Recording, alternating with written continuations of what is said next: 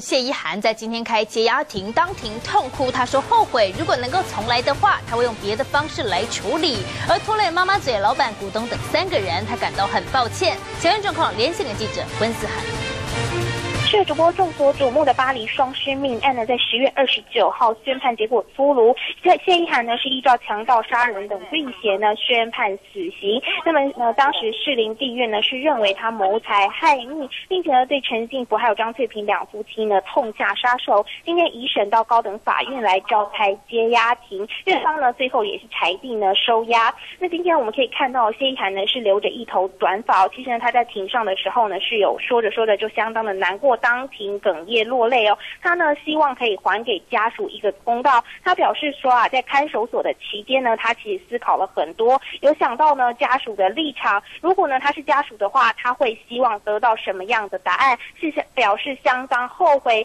语气中呢是看似呢是接受了死刑的结果。他也表示呢非常对不起呢这些无辜牵涉案件的人，就是包括吕炳宏等人，因为呢他表示自己不应该。假笔录呢，害这些人呢无辜牵涉案件。那法官呢，最后呢也是语重心长呢，希望呢谢依涵在看守所的时候可以好好的思考，并且呢希望在之后的准备庭之后的审理庭呢，他都能够说实话，让案情呢个真相大白。也是想对新主播。